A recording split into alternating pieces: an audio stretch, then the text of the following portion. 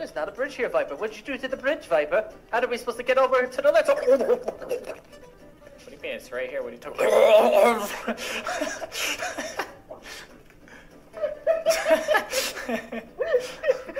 I don't know, Viper. well, that works out perfectly. All right, I'm gonna go murder some beans now.